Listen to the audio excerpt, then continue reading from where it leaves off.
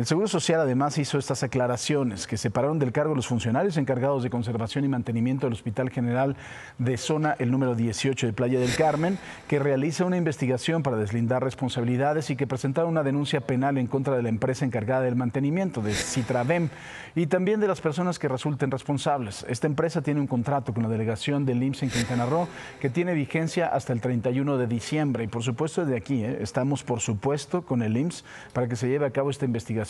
y para que se castigue a los que sean responsables, pero también hay que ser sensibles a esta situación que sucedió con esta familia, una familia además de todo, por supuesto, y evidentemente de muy escasos recursos.